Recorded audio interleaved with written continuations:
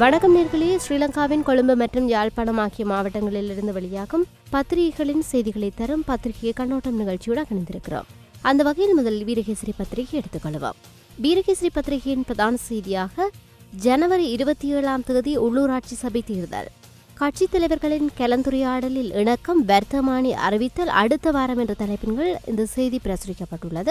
இதேவேளை பொறுப்பு கூறலிலிருந்து அரசாங்கம் விலக முடியாது. ஐநா நிபுணரின் பரிந்துரைகளை வரவேற்கின்றது கூட்டமைப்பு என தமிழ் தேசிய கூட்டமைப்பின் பேச்சாளர் எம். ஏ. சுமந்திரனின் புகைப்படத்துடன் அந்த செய்தி பிரசுரிக்கப்பட்டுள்ளது.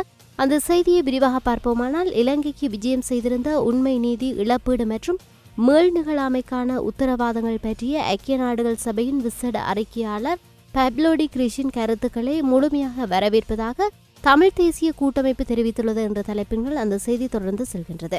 இதேவேளை அச்சுறுத்தலை ஏற்படுத்தியுள்ள ஐநா நிபுணரின் கருத்துக்கள் என கூட்டு எதிர்க்கட்சியின் புகைப்படத்துடன் அந்த செய்தி பிரசுரிக்கப்பட்டுள்ளது. மிகச்சிறந்த இடத்தில் இலங்கை ஐநா உறவு வெளியுறவு செயலாளர் பிரசாந்த் காரியவசம் என்பதாக உங்கள் செய்தி காணப்படுகின்றது. உள்ளூராட்சி தேர்தல் தொடர்பில் ஐக்கிய தேசிய கட்சியின் செயலாளரும் அமைச்சருமான ஹபீர் ஹாசிம் மற்றும் ஸ்ரீலங்கா சுதந்திர கட்சியின் முக்கியஸ்தர்களும் உள்ளூராட்சி மாகாண சபைகள் அமைச்சருமான ஃபைசம் முஸ்தபா ஆகியோருக்கிடையில் அமைச்சரவையில் கடும் வாக்குவாதம் ஏற்பட்டதாகவும் ஒரு செய்தி காணப்படுகின்றது. இதேவேளை இன்றைய வீரகேசரி பத்திரிகையின் கட்டமிடப்பட்ட செய்தியாக மேல் மாகாண சபை உறுப்பினர் உட்பட ஏழு பேருக்கு விளக்கமறியல் விசாரணை தீவிரம் என்பதாக அந்த செய்தி தொடர்ந்து செல்கின்றது. இவைகள் இன்றைய வீரகேசரி பத்திரிகையில் பிரசுரிக்கப்பட்ட செய்திகளாக காணப்பட்டன. தொடர்ந்து தினக்குரல் பத்திரிகை எடுத்துக்கொள்வோம். அரசியலமைப்பு விடயத்தில் அரசு எல்லை தாண்டக்கூடாது. அமரபுர நிக்காய உட்பட பௌத்த பீடங்கள் வலியுறுத்தல் என்ற தலைப்பின்கள் இன்றைய தினக்குரல் பத்திரிகையின் பிரதான செய்தி பிரசுரிக்கப்பட்டுள்ளது.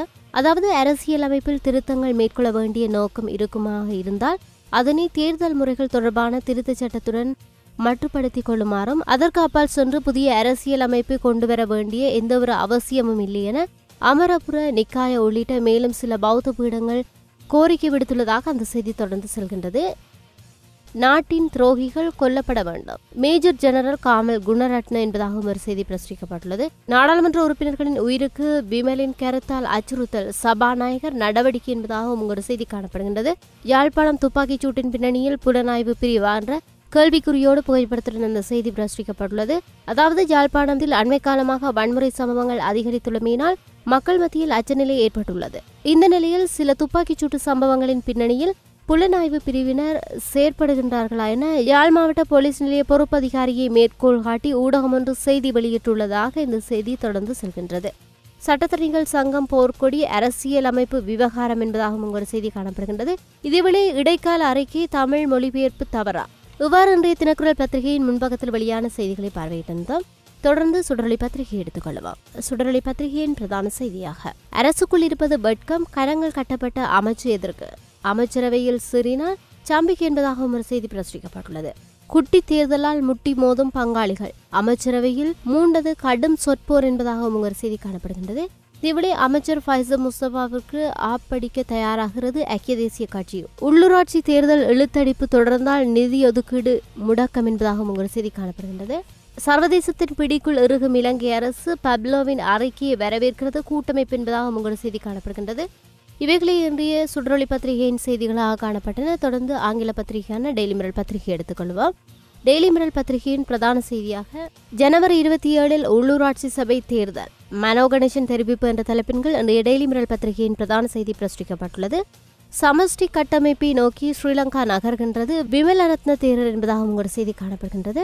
நாடாளுமன்றத்திற்கு கொண்டு வைப்பதாக விமல் வீரவன்சவின் கருத்து தொடர்பாக நடவடிக்கை எடுக்கப்படும் என கர். ஜெயசூரிய தெரிவித்துள்ளதாக உங்களோட செய்தி காணப்படுகின்றது. இவைகள் இன்றைய டெய்லி மிரல் பத்திரிகையின் செய்திகளாக காணப்பட்டன. தொடர்ந்து சிங்கள பத்திரிகையான லங்காதீப பத்திரிகை எடுத்துக்கொள்ளலாம் இன்றைய லங்காதீப பத்திரிகையின் பிரதான செய்தியாக பாதாள உலக கோஷ்டியுடன் தொடர்பு பட்டிருந்த அமைச்சர் ஒருவரின் மனைவி மற்றும் ஏழு பேர் கைது செய்யப்பட்டுள்ளதாக லங்காதீப பத்திரிகையின் பிரதான செய்தி பிரசுரிக்கப்பட்டுள்ளது. இதேவேளை ஜனவரி மாதம் உள்ளூராட்சி சபை தேர்தல் என்பதாக உங்கள் செய்தி காணப்படுகின்றது. இவைகளே இன்றைய லங்காதீப பத்திரிகையின் முன்பக்கத்தில் வெளியான முக்கிய செய்திகளாக காணப்பட்டன. நல்லது நேர்களே ஸ்ரீலங்காவின் கொழும்பிலிருந்து வெளியாகிய செய்தியை பார்வையிட்டிருந்தோம். தொடர்ந்து யாழ்ப்பாணத்திலிருந்து வெளியாகும் பத்திரிகைகளின் செய்திகளோடு இணைந்து கொள்வோம். வணக்கம் அன்புறவர்களே இன்றும் கூட நாளிதழ்களின் பார்வையோடு உங்கள் அனைவரையும் சந்திப்பதிலே பெருமகிழ்ச்சி அடைகின்றோம். இன்றும் இலங்கையின் வடபகுதியிலே இருந்து வெளிவரக்கூடிய பிரதான நாளிதழ்களான உதயன் காலைக்கதிர் வலம்புரி ஆகிய நாளிதழ்கள் நமது பார்வைக்காக கிடைத்திருக்கின்றன. அவற்றிலே முதலில் நாம் உதயன் நாளிதழை எமது பார்வைக்காக எடுத்துக்கொள்வோமாக இருந்தால் அதனுடைய பிரதான தலைப்பாக அமைந்திருப்பது வேள்விகளுக்கு நிரந்தர தடை. யாழ் மேல் நீதிமன்றம் நேற்று தீர்ப்பு. யாழ்ப்பாண மேல் நீதிமன்ற நீதியாதைக்கு எல்லைக்குள் அமைந்துள்ள இந்து ஆலயங்களில் மிருக பலியிடல் வேள்வி நடத்துவதற்கு யாழ்ப்பாண மேல் நீதிமன்று நிரந்தர தடை விதித்தது. இந்து ஆலயங்களில் பலியிடல் பூஜை வழிபாடுகளை நடத்துவதற்கு இறைச்சிக்கடை சட்டத்தின் கீழ் உள்ளூராட்சி சபைகள் அனுமதி வழங்கி வந்தமை அதிகார முறைகேடு என்றும் நீதிபதி தனது தீர்ப்பிலே சுட்டிக்காட்டியிருக்கின்றார் என்று அந்த செய்தி தொடர்ந்து செல்கின்றது. ஐநா அறிக்கையாளரின் கருத்துக்களுக்கு வரவேற்பு. தமிழ் தேசிய கூட்டமைப்பு தெரிவிப்பு. என்ற தலைப்பில் செய்தியும் அம்பலவன் பொக்கடையில் ஆயுத வேட்டை நேற்று தோல்வி. படையினர் தோண்டிய இடத்தில் எதுவுமில்லை ஜனவரி இருபத்தி ஏழாம் தேதி உள்ளூராட்சி தேர்தல். மற்றும் ஒரு செய்தியாக ஒரு கட்டம் கட்டப்பட்ட செய்தி இங்கே பிரசுரமாக இருக்கின்றது. மாமியை வெட்டி கொன்று மனைவியை காயப்படுத்திய குடும்பத் தலைவருக்கு எட்டு வருட சிறை தண்டனை. யாழ்ப்பாண மேல் நீதிமன்றம் தீர்ப்பு என்ற தலைப்பிலேயே வரையப்பட்டிருக்கிறது அமைச்சராக இருப்பதற்காக வெட்கப்படுகின்றாராம் சம்பிக்க அமைச்சரவை கூட்டத்தில் அவரே தெரிவிப்பு போன்ற தலைப்பிலான செய்திகள் உதயன் நாளிதழில் பிரசுரமாக இருக்கிறது இனி காலை கதிர் நாளிதழ்.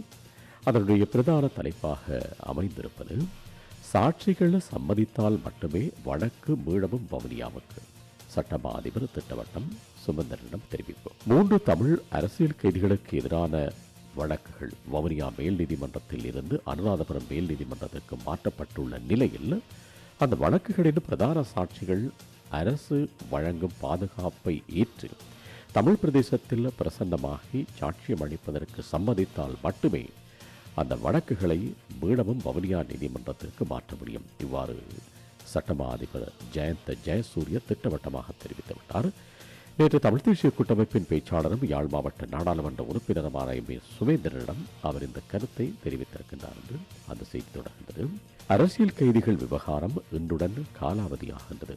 ஜனாதிபதி கேட்ட காலக்கெடு கட்டார் புறப்பட முன் ஏதும் அறிவிப்பாரா என்று தலைப்பிடப்பட்டிருக்கின்றது வழக்கை மீள வவுனியாவுக்கு மாற்றக்கோரி மீளாய்வு மனு மேன்முறையீட்டு நீதிமன்றத்திலே தாக்கல் செய்ய முயற்சி விமல் வீரவன்சவுக்கு மாரடைப்பு என்ற தலைப்பில் ஒரு செய்தியும் சிறை கைதிகள் மூவரும் அனுராதபுரம் ஆஸ்பத்திரிக்கு நல்ல தீர்வு வரும் தவராஜா நம்பிக்கை என்ற தலைப்பிலான ஒரு செய்தியும் மற்றும் ஒரு செய்தியாக நகரில் நேற்று கவன ஈர்ப்பு தமிழ் அரசியல் கைதிகளின் விடுதலையை வலியுறுத்தி அனுராதபுரம் சிறைச்சாலையில் உண்ணாவிரத போராட்டத்தில் ஈடுபட்டுள்ள மூன்று தமிழ் அரசியல் கைதிகளின் கோரிக்கையை நிறைவேற்ற கோரியும் அரசியல் கைதிகளுடைய விடுதலை சம்பந்தமாகவும் நேற்று யாழ் நகரிலே இந்த கவனஈர்ப்பு போராட்டம் இடம்பெற்றதாக அந்த செய்தி குறிப்பிட்டு செல்கிறது இனி நாங்கள் வலம்புரி நாளிதழை எமது பார்வைக்காக எடுத்துக்கொள்வோமாக இருந்தால் அதனுடைய பிரதான தலைப்பாக அமைந்திருப்பது இடைக்கால அறிக்கை விவாதத்தின் போது மஹிந்த ஆதரவு அணி ரகளையில் ஈடுபட முடியும். புதிய அரசமைப்பு தொடர்பான இடைக்கால அறிக்கை மீதான விவாதம் நாடாளுமன்றத்திலே எதிர்வரும் முப்பதாம் தேதி